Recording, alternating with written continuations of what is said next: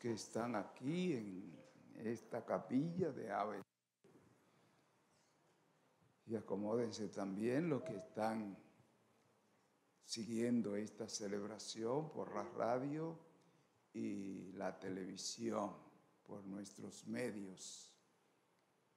Eh, decíamos al comienzo que tenemos tres motivos para celebrar hoy, para esta misa. El primer motivo, la Virgen, la Virgen María, la Inmaculada Concepción, una solemnidad, el mayor grado de, celebraciones litúrgicas que tiene, que tenemos en la iglesia, solemnidad.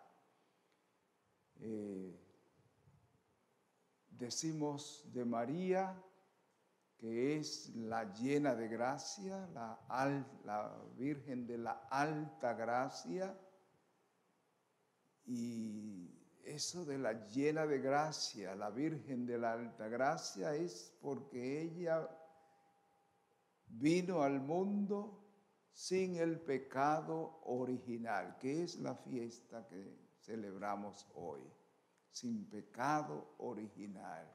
Vino sin mancha. Y no solamente vino, sino que se mantuvo sin mancha. Inmaculada significa sin mancha. Mácula es la mancha que nos ha dado el pecado. Inmaculada, sin mancha, sin pecado concebida. Y el Evangelio nos nos hace ver cuál es la, como el fruto de, esa eh, inmaculada. Es que el ángel Gabriel le anuncia a ella que fue escogida para ser la madre del Mesías y ella aceptó, aceptó y por eso se mantiene así, llena de gracia, sin mancha. Se mantiene. La enseñanza para nosotros de este día es que estamos invitados a vivir una vida santa, todos los creyentes, todos nosotros, los hijos de Dios, todos los miembros de la iglesia estamos invitados a vivir sin mancha, a vivir en la pureza como María. Y estamos invitados también a aceptar la palabra de Dios, aceptar el mensaje de salvación de Dios como ella, que dijo sí al plan de Dios. Estamos invitados también nosotros a acoger la palabra de Dios, aceptarla, decir sí, y eso es salvación, eso es continuar la salvación de Dios. Ya la salvación se ha iniciado, en Jesucristo, en María, que acepta ser la madre del Salvador y continúa esa salvación con nosotros que estamos en misión, que Él nos invita a colaborar en el plan, en su plan de salvación la salvación de Dios, operando la salvación de Dios. La iglesia continúa ese trabajo de eh, operar la salvación de Dios. Para eso tenemos un modelo, un modelo de pureza, María, la Madre de Dios, y un, y un modelo también de prontitud para la evangelización, de prontitud para la escucha de la palabra. Bien, este es el primer motivo. El segundo motivo es el aniversario de ABC, la emisora de nuestra arquidiócesis de Santo Domingo. ¿Cuál es la tarea de un medio de comunicación? ¿Cuál es la misión, la función de un medio de comunicación, cualquiera que sea? Oigan bien, cualquiera que sea el medio, tiene la tarea de comunicar mensajes, mensajes de verdad comunicar la verdad. Cualquiera, no solamente un medio de la iglesia, no solamente un medio católico, cualquiera que sea un medio de comunicación está llamado a comunicar la verdad.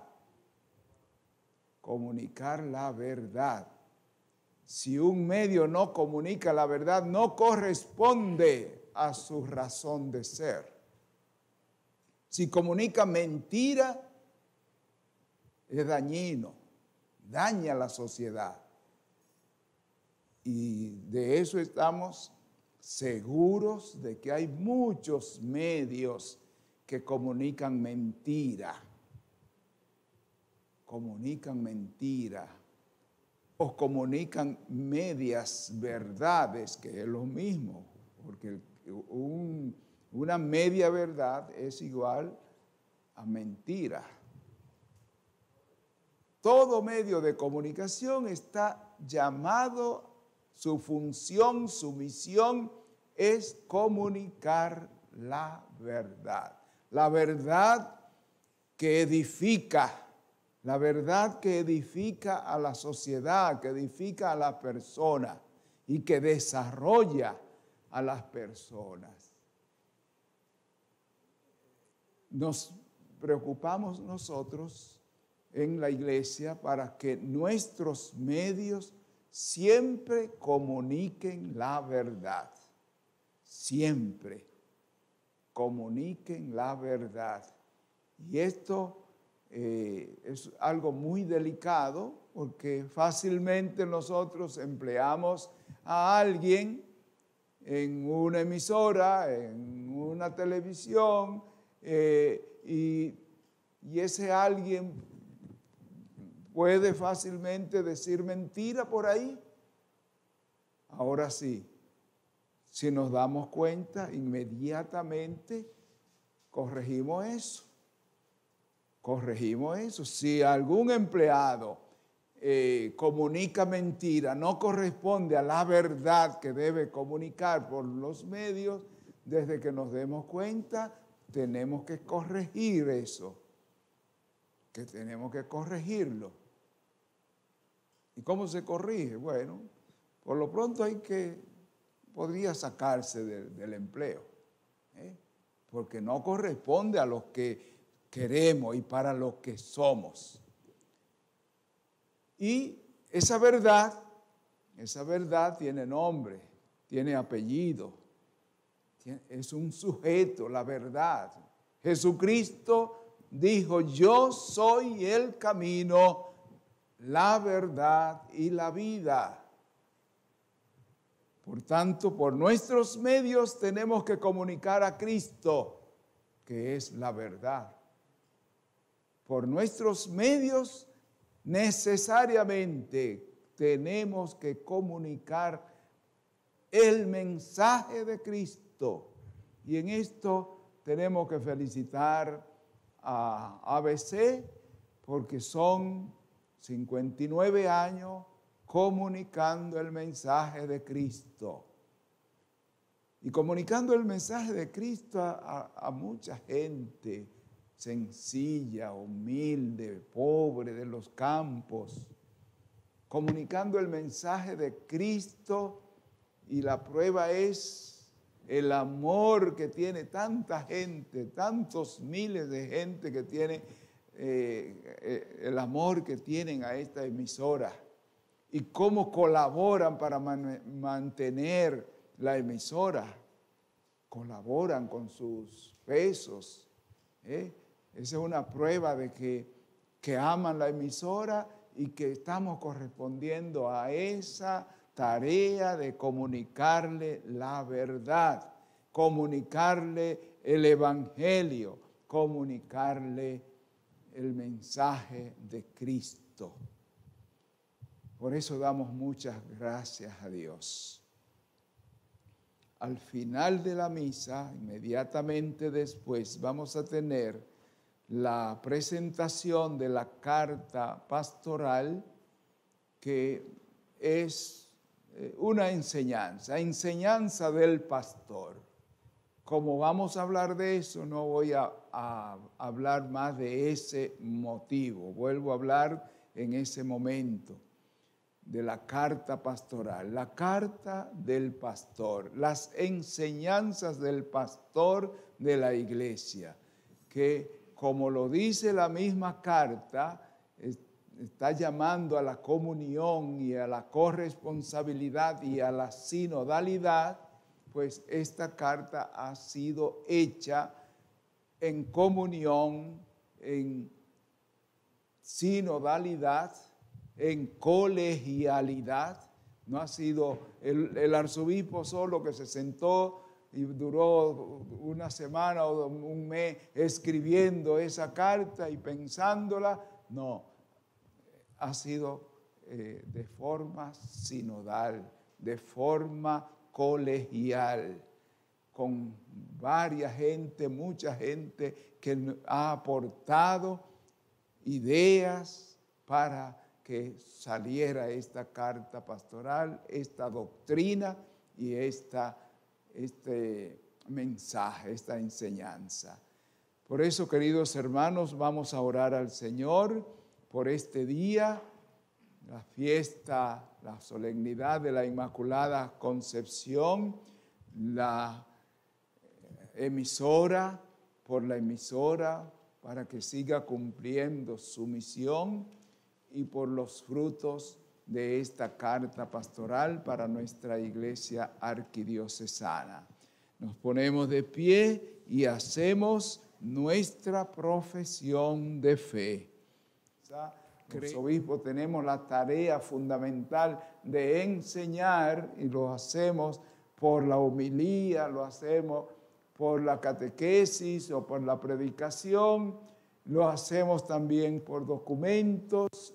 La carta pastoral es un documento donde se ejerce el magisterio de la iglesia, el magisterio ordinario del, del obispo. Y como magisterio, como enseñanza, entonces hay que practicar, hay que asumir eso, hay que, acatar esa enseñanza. Tarea del arzobispo, del obispo, es pastorear, pues pastorea a través de esta enseñanza, a través de esta carta. Es la forma de pastorear, de guiar, de orientar a las ovejas mediante estas enseñanzas. El tema de la carta es sobre la ministerialidad.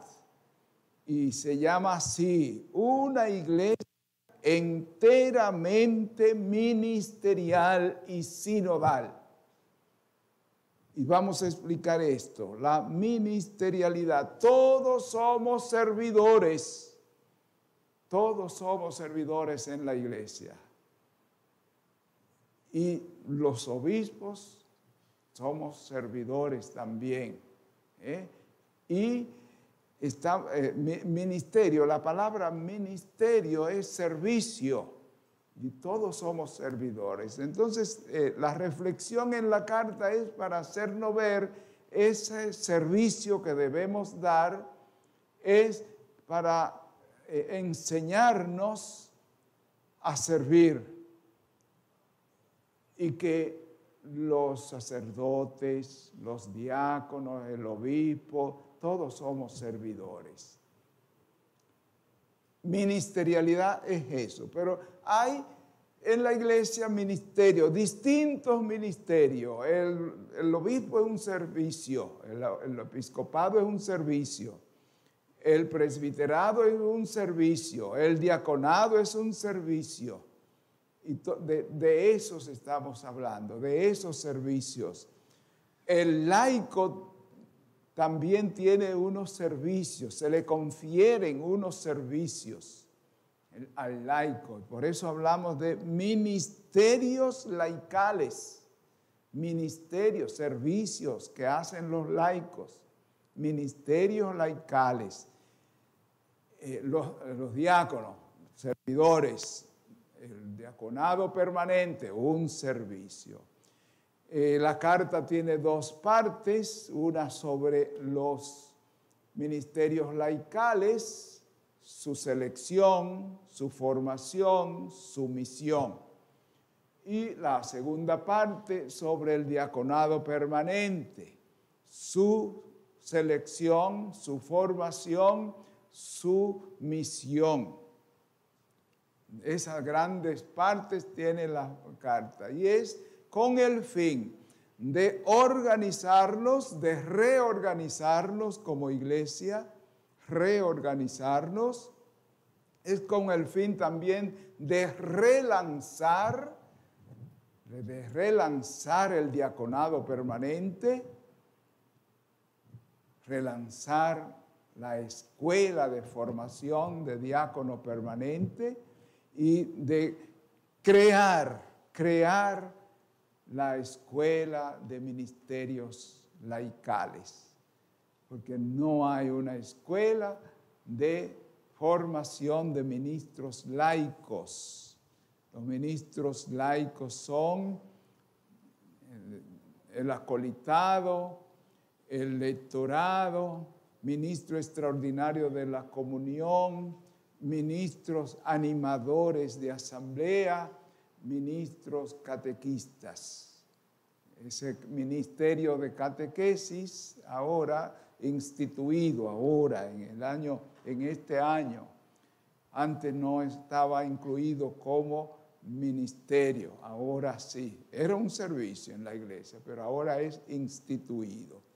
Por eso eh, motivo a toda esta arquidiócesis a asumir estas enseñanzas, a dejarnos guiar y a organizarnos, sobre todo en las parroquias, los párrocos. Ya esta carta se la entregamos a los sacerdotes para que la apliquen y que colaboren con la eh, puesta en marcha de esta carta pastoral.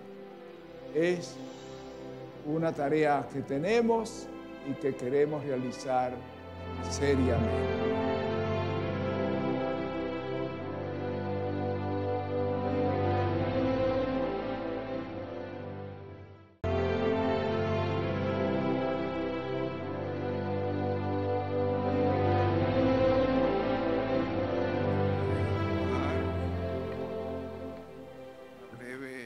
reflexión en este día. Primero contemplar la palabra de Dios que se ha proclamado y que es vida para nosotros, que es salvación para nosotros. La primera lectura hemos escuchado esta narración de lo que fue la ruina de la humanidad, del pecado, que es también nuestra herencia. Este capítulo 3 de, del Génesis nos narra cómo fue aquello del pecado, la desobediencia del ser humano, pero ahí mismo, en esa desobediencia, Dios promete el Salvador. Dios promete que enviaría al Salvador, al Mesías. Y esa salvación se realiza por la aceptación de la palabra de Dios de María la Virgen. De esa herencia, de ese pecado original, en honor de Jesús, por los méritos de Jesús, fue preservada María. Por eso la fiesta de hoy. Porque ella vino al mundo sin mancha. Inmaculada significa eso, sin mancha, sin la mancha del pecado. Es lo que celebramos y damos gracias a Dios por María que nos dio al Salvador. En el Evangelio que tantas veces hemos escuchado, este Evangelio, la anunciación a María como el ángel, como Dios le anuncia por medio del ángel a María que va a ser la madre del Salvador. Y el saludo del ángel a María es ese. Salve, llena de gracia, llena de gracia. Ella es llena de gracia porque vino sin mancha al mundo. Y nosotros en este año estamos celebrando esa alta gracia de María. Estamos dedicando este año a María, la Virgen de la Alta Gracia, al celebrarse 100 años de su coronación aquí en el país como protectora del pueblo dominicano. Y dos ideas fundamentales sobre María que se abrió al plan de Dios, aceptó el plan de Dios y por eso vino la salvación al mundo. Ella es la llena de gracia, sin mancha, sin pecado, concebida sin pecado. Y es la que acepta el plan de Dios y por eso viene la redención al mundo. Demos gracias al Señor por esto. Demos gracias al Señor por esa gracia que ella nos da. Estamos celebrando estos 39 años de vida, de servicio, de esta Universidad Católica Santo Domingo. 39 años de servicio. El sentido de esta institución es eso, servir. Servir al país, servir a la comunidad, a la sociedad, servir a la iglesia servir con este servicio que es la educación. Educación. Y cuando hablamos de servir, de servicio, de servir, estamos hablando de que eh, una institución como esta no es para hacerse rico. No es para como una empresa para eh, generar dinero. Sabemos que hay muchas em, instituciones así. Y la, la multiplicación de universidades en el país no tiene otra explicación Aquí tenemos más universidades casi que bancas. ¿eh? Estoy, exagerando. Pero ¿cuál es la explicación? Porque son empresas, son empresas que van a dar vida o que dan vida, que son rentables. Y cuando miramos a una universidad por esa, ese aspecto como rentable, como capaz de generar riquezas, estamos perdidos. Estamos perdidos. La universidad no es para eso. Es un servicio, es un servicio a la educación, un servicio al desarrollo de las personas un servicio al crecimiento de un país, servicio. Si no miramos eso, estamos perdidos. Y nosotros, lejos de mirar eso, lejos de ver la universidad como una empresa rentable, desde nuestra condición de católica con unos principios fundamentales que nos rigen, desde ahí tenemos que servir, servir, servir a la humanidad, servir al país, servir al desarrollo de las personas, servir con estos, con los principios católicos que nos rigen. Otra universidad tendrá otros principios, tendrá otras ideas, pero nosotros tenemos que regirnos por los principios de la Iglesia Católica. Por eso es una universidad católica. Y esto compromete, esto nos compromete y compromete a todo el personal de aquí, compromete a los al personal, a los maestros, a los funcionarios,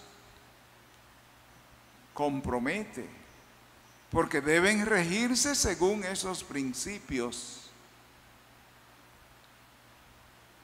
Realmente estamos contentos, satisfechos por el trabajo realizado, por el servicio dado al país y a las personas. Estamos satisfechos, pero siempre se puede dar más siempre se puede dar más.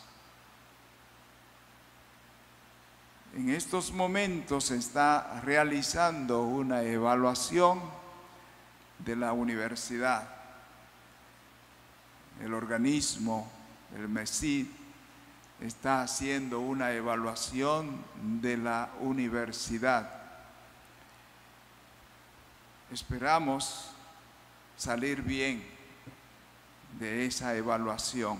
Esperamos salir bien.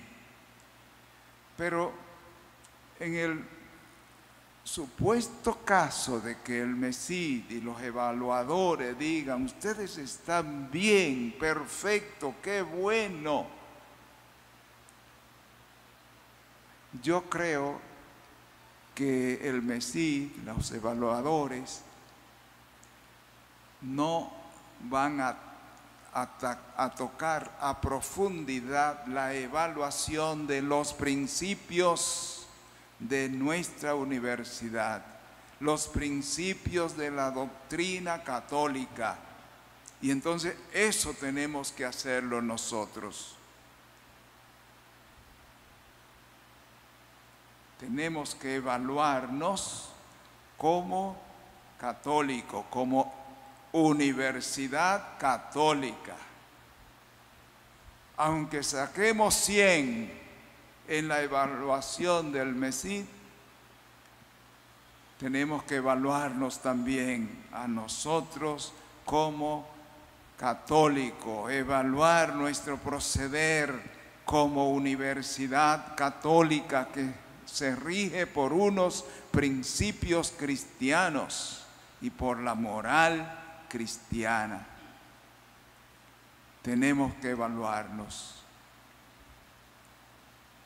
Damos gracias a Dios por ese servicio que estamos dando y por estos 39 años de servicio a la educación.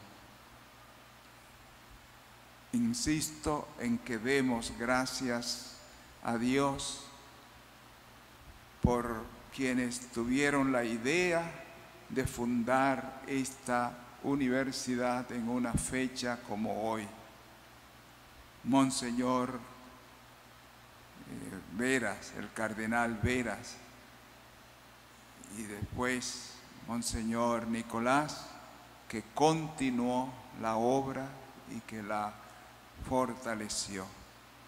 Demos gracias a Dios por ahora, por el tiempo que estamos viviendo y cómo estamos, aunque con miles de dificultades, cómo estamos sobreviviendo, sobreviviendo a la pandemia, sobreviviendo a las distintas enfermedades, pues estamos aquí para dar gracias al Señor. Ave María Purísima. Sin pecado concebida.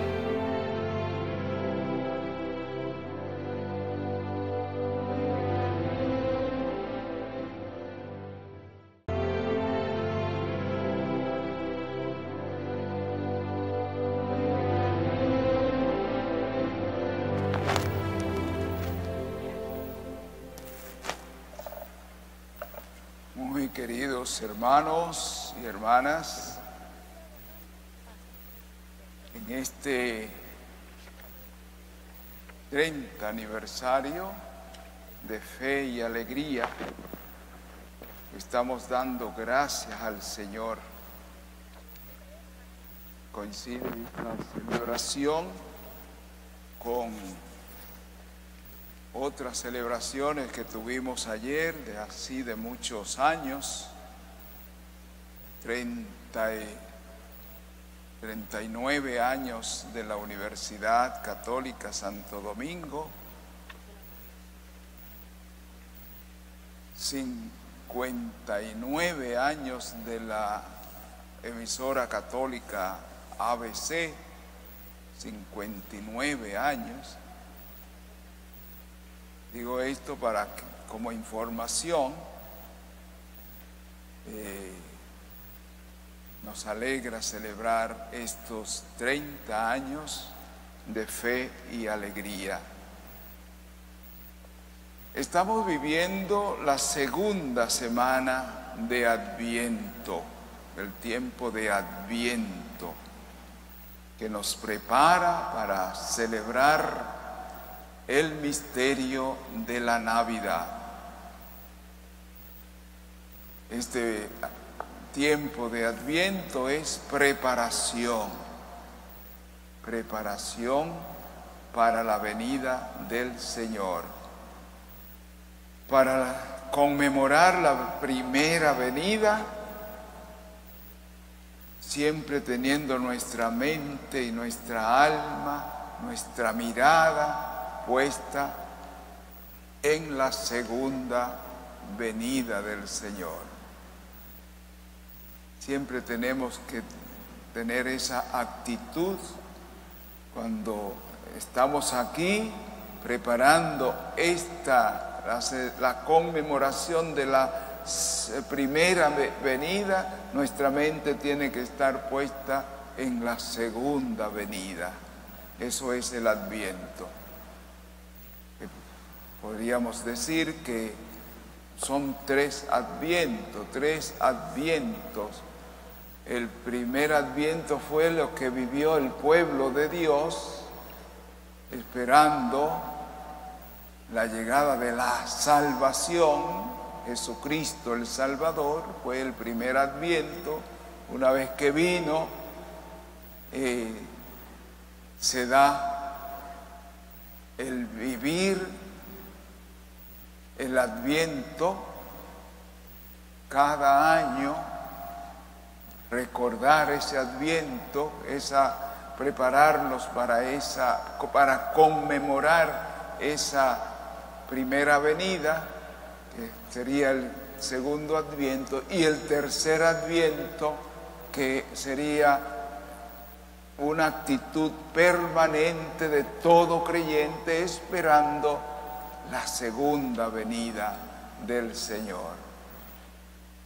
En el adviento tenemos tres personajes que nos ocupan y que son motivo de reflexión para todos nosotros. El primer personaje es Isaías, que recorre todo el adviento alentándonos, preparándonos para esa primera venida del Señor, eh, que constantemente nos anuncia la venida del Mesías. Hoy en concreto el profeta Isaías nos habla, habla al pueblo de Dios y nos habla a nosotros de su ayuda, su apoyo, su auxilio para todos los creyentes. Él, el Señor, no nos deja solo, nos auxilia siempre, pero mucho cuidado. Advierte el profeta de que somos poca cosa, de que nosotros somos poca cosa, gusanito de Israel, un gusanito, oruga. Y como somos poca cosa, no podemos creernos gran cosa pero con el auxilio de Dios sí somos una gran cosa. Eso dice el profeta hoy en la primera lectura. Somos como un gusanito, como una oruga, pero con la ayuda de Dios, con el auxilio divino, somos grandes somos una gran cosa y así tenemos que vivir. El segundo personaje muy importante en el adviento es María, la madre del Mesías, la madre de Jesús. Qué bueno que en en esta en el Adviento siempre celebramos algunas fiestas marianas, como fue ayer la Inmaculada Concepción, o como será el día 12 la Guadalupana, la Guadalupe. Que yo no quiero llamar lo que hacemos paréntesis en el Adviento, para celebrar estas solemnidades de María, porque María está integrada en el adviento, no es un paréntesis, está integrada en el adviento. Ella vivió en primera fila, ¿eh? ella vivió en primer plano el adviento, y con mucha razón, porque ella llevaba en su vientre al Mesías. No podemos dejar eh, de contemplar a María esperando la llegada, el nacimiento del niño. Y con esa actitud de María de aceptar la palabra de Dios en sí misma, en su corazón, en su vientre, aceptar la palabra de Dios. Por esa aceptación, por ese sí, se hizo posible la salvación de la humanidad. Y hoy también nos habla el Evangelio de Juan el Bautista, otra persona clave del adviento, por la misión que el mismo Dios le encomendó de ser el precursor, el que iba a preparar los caminos del Señor. Juan el Bautista, que Jesús dice que es el más grande de los nacidos de mujer, pero igualmente como Isaías es el más pequeño, es pequeño, es pequeño. Nosotros vivimos el adviento con esta actitud de pequeñez, pero también de grandeza ante el Señor, con el Señor, asistido y auxiliado por el Señor. Decía al comienzo de el servicio de fe y alegría que ha dado y que seguirá dando a nuestra sociedad. Servicio a la educación,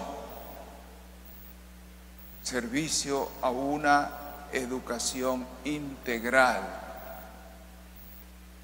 Y nada más motivo a fe y alegría, empezando por los jesuitas, siguiendo con todos los colaboradores, todos los que están en esas escuelas, eh, motivarle a seguir trabajando en esta línea, en esa liberación integral. Y liberación integral quiere decir que nos preocupamos por cosas muy humanas de las personas, de la comunidad, pero también al mismo tiempo nos preocupamos por lo espiritual, por implementar los valores de la fe en esa educación que damos.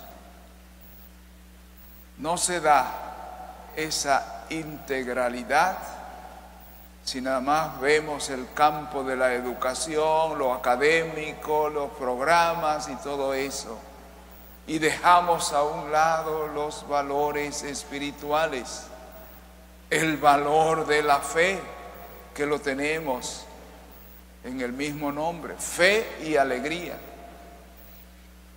educación integral. Motivamos a todos a continuar en esa actitud de colaboración, de servicio a la educación. Y si en algún momento, que son muchos los momentos, no reciben el apoyo de quien debe dar ese apoyo, no reciben el apoyo de los organismos, del organismo, de educación, seguir para adelante, seguir con esa, ese servicio que es importante.